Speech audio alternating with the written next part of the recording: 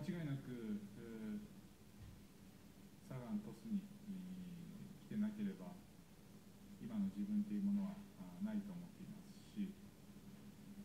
今、在籍しているサガン鳥栖というこのクラブで、必ずタイトルを取りたい、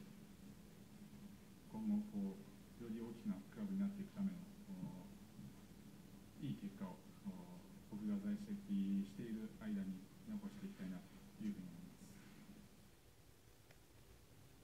自宅で家族と代表発表の会見を見ていたと話した豊田選手。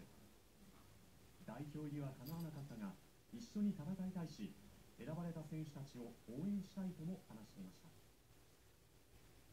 ブラジルワールドカップは来月12日に開幕。日本代表の初戦は日本時間来月15日日曜日の午前10時からコートジボワール代表と対戦します。